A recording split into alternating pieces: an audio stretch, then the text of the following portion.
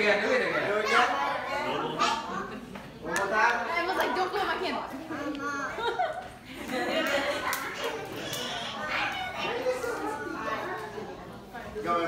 Like,